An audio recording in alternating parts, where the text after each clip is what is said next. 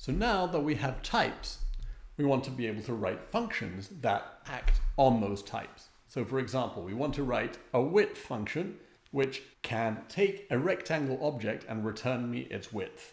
But I don't want the width function to work on a complex number or an integer. So how can we do that? We actually write a function like this. Width of r, but I give this type annotation. This type annotation operator is this two colons next to each other. r colon colon rectangle means that this width function takes one parameter called r, and that r has to be of type rectangle for this particular version of the width function.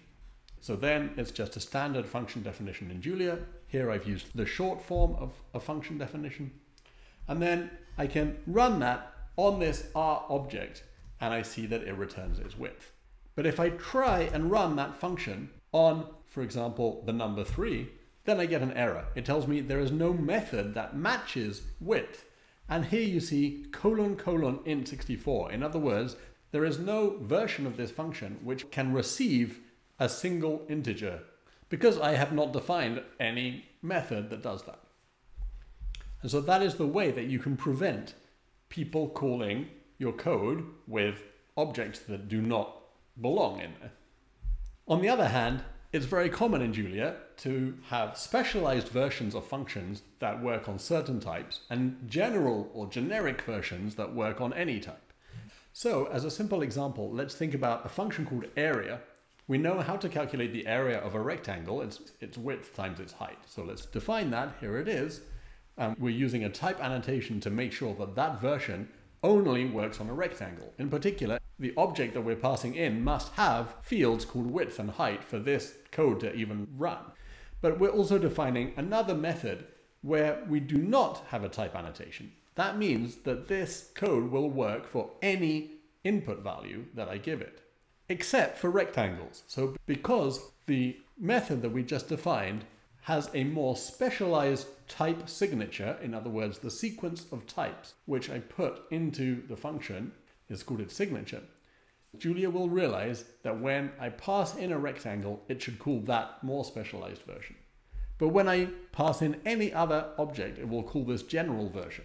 So for example, if I call it on my rectangle, it correctly multiplies the width and height and calls the first method.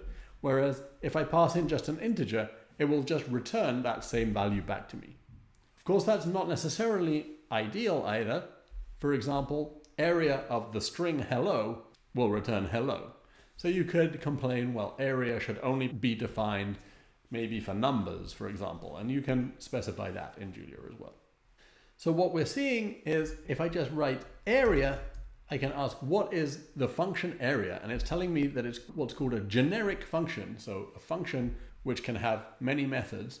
And in this case, we have two methods. So each of these versions of the function is called a method.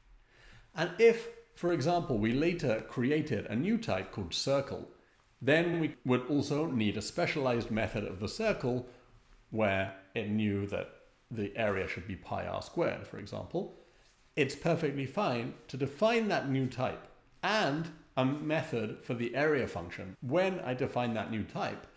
And when I pass in a circle object, it will actually call that correct method.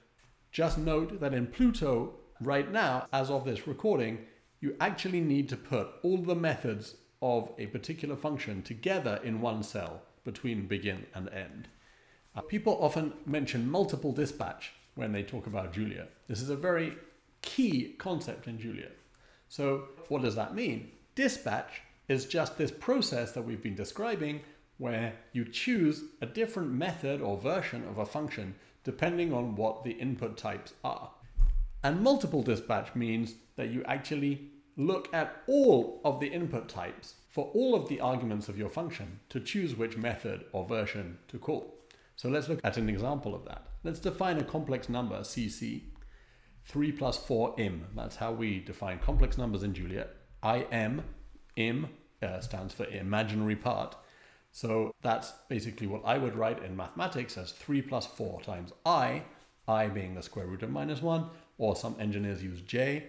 In Julia, we use im so that we don't take over the symbol i, so that you can use i and j in your program. And here we're taking 3 plus 4 times m, and that gives me a complex number. And now let's look at how to add complex numbers.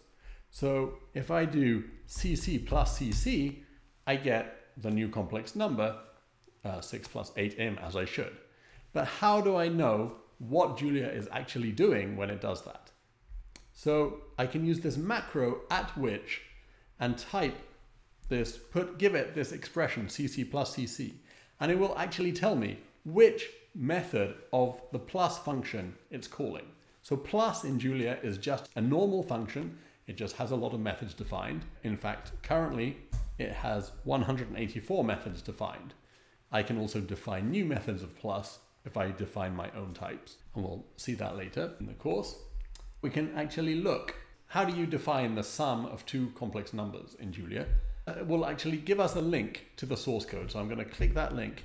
This takes me to the source code of the version of Julia that I'm running, and it tells me exactly how Julia defines the sum of two complex numbers. So here it is, the sum of a variable called z, which is of type complex, and a w, which is of type complex, is, oh, I'm going to make a new complex number, and I'm going to take the real parts and add them, and take the imaginary parts and add those, and put those inside my complex number. That is the definition of the sum of two complex numbers in Julia.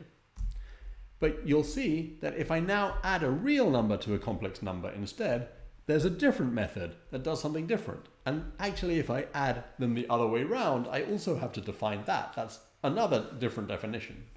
And you can go and find out what exactly it's doing. So defining types in Julia is a very common thing to do and is very useful. And you see from this notebook that the point is that we can actually make different objects that behave in different ways.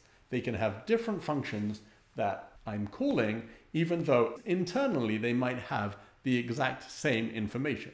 But I can actually now specify that difference to Julia and allow it to call different functions and do different things.